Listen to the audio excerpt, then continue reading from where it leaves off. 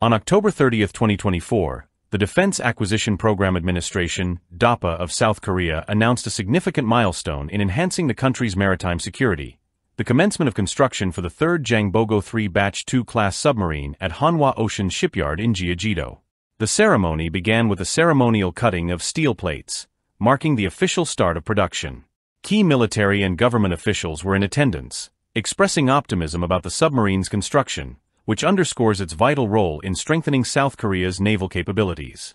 The Jangbogo 3 Batch 2 submarines are the latest evolution in South Korea's naval fleet, boasting a displacement of 3,600 tons, making them the largest submarines in the South Korean Navy. These vessels surpass their predecessors in multiple areas, particularly in sonar and combat systems.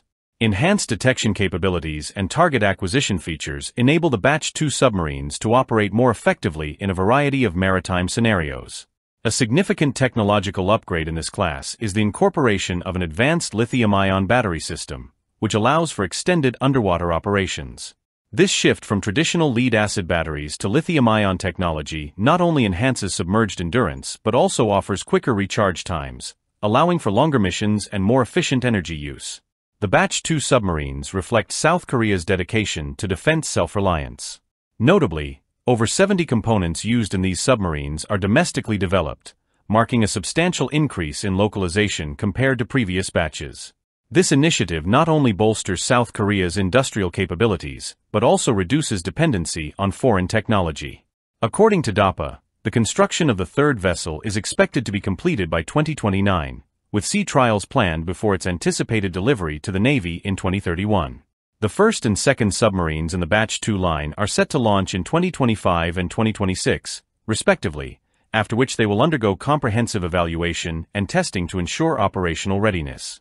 The KSS-3 Batch 2 submarines offer several advancements over the Batch I models, such as the Dosan Ahn Changho, which has a surface displacement of 3,358 tons and a length of approximately 83.5 meters.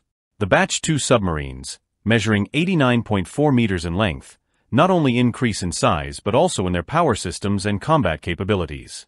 In terms of weaponry, Batch I submarines are equipped with six vertical launch system, VLS cells for launching submarine-launched ballistic missiles, SLBMs, and eight 533mm torpedo tubes. The Batch 2 submarines, however, expand this arsenal to 10 VLS cells, thereby enhancing their versatility and firepower.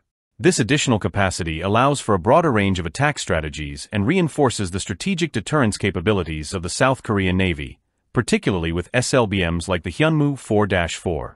The construction of the Jangbogo 3 Batch 2 submarines marks a pivotal development in South Korea's naval defense strategy.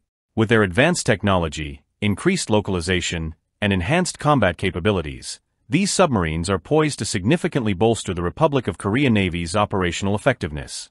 As the global security environment continues to evolve, South Korea's commitment to strengthening its maritime capabilities remains crucial for national defense and regional stability.